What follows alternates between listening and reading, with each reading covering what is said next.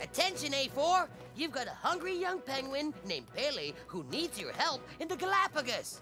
Don't worry, Pele. We'll find a way to get you to those fish.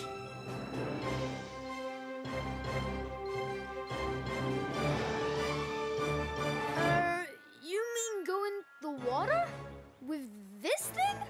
By myself?